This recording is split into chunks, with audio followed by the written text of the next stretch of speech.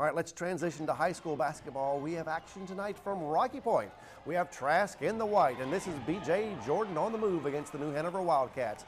Trask kind of has a reputation of moving the ball up and down the court, and they certainly did that effectively in the second quarter tonight. In fact, the Titans played their best ball of the night in quarter number two. That was Jawan Carr off the glass for Trask, and it's anybody's ball game at this point. But the Wildcats pull away after the break. New Hanover, by the way, only led by one at the half. Josh Aldridge has a nice shooting touch for New Hanover. We just saw him.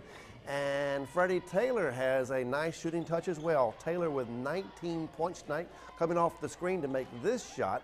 76-63 is your final score in this one. New Hanover is now 1 and 1 on the season. It's a young season, by the way, as you know. The Wildcats win by 13 over the Titans in Rocky Point, and this was the season opener for the Trask Titans.